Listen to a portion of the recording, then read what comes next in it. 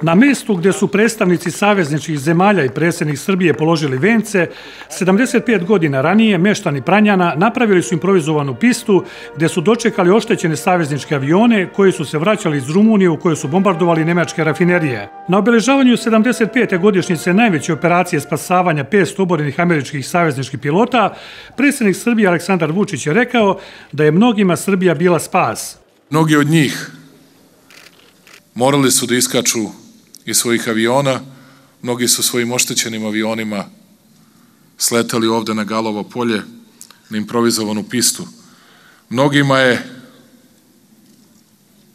mnogima je Srbija bila spas, mnogima je narod u Pranjanima, Gornjo Milanovačkom, Čačanskom, Južičkom, Požeškom kraju bio ne spas samo za njih i njihove porodice, već je spas za jednu važnu operaciju 1944. godine.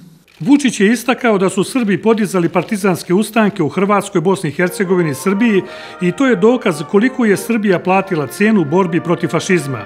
Samo četiri naroda u drugom svetskom ratu proporcionalno broju svog, svojih stanovnika tu cenu platila su više nego što je platio srpski narod.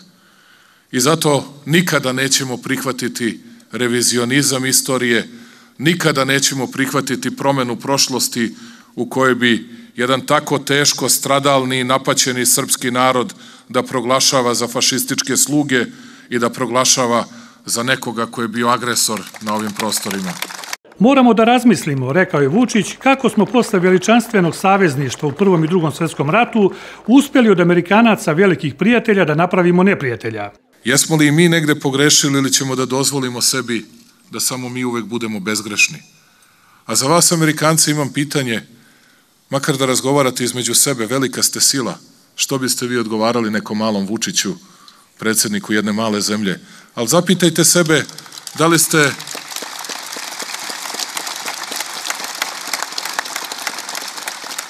Da li ste i vi zbog svojih globalnih sukoba sa nekim drugim velikim silama žrtvovali jednog od najvećih saveznika i najlojalnijih saveznika koje ste imali i stali na stranu svih drugih iz ne baš sasvim jasnih razloga na prostoru bivše Jugoslavije. Sjedinjene američke države nikad neće zaboraviti hrabrost srpskog naroda, poručio američki ambasador Kyle Scott. Ti obični ljudi, ti Srbi, bili su također heroji. Svojom humanošću i saosećanjem pokazali su heroizam bez premsa. Preuzeli su rizik sa kakvim niko od nas ne bi trebalo da se suoči, da bi pomogli bližnjima. Kada su vijesti o sudbini avijatičara stigle na zapad, kad se čula za ove takozvane zaboravljenih 500, Skoven je odvažen plan i na scenu je stupilo još heroja. Jedan od njih je bio George Vojnović, otac Ksenije Vojnović. Moj otac, George Vojnović, je bio organizator misija Halyard iz Italije. On je bio u OSS i vojnik, oficijal amerikanski.